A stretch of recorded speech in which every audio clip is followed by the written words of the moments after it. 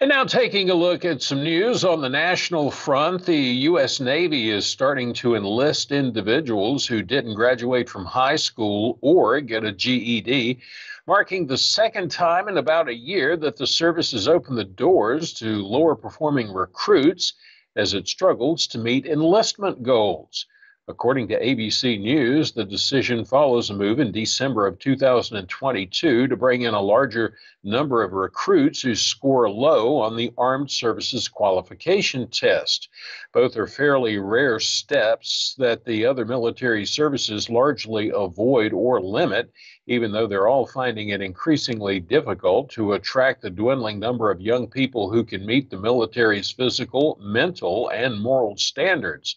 Under the new plan, Navy recruits without an education credential will be able to join as long as they can score 50 or above on the qualification test, which is out of 99.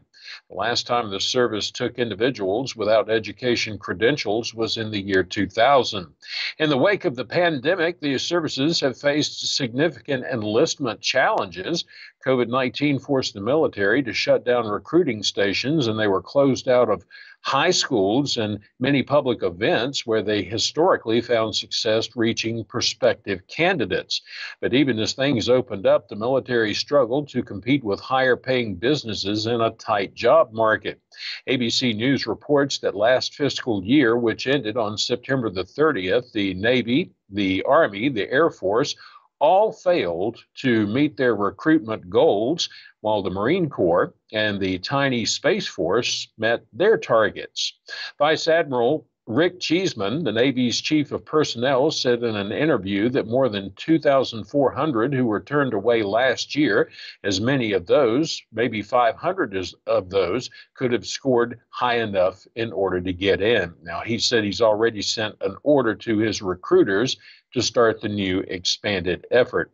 He said Navy leaders had been talking about opening up enlistment to those without high school credentials for a while in an effort to expand the potential for for the to expand the pool of potential sailors.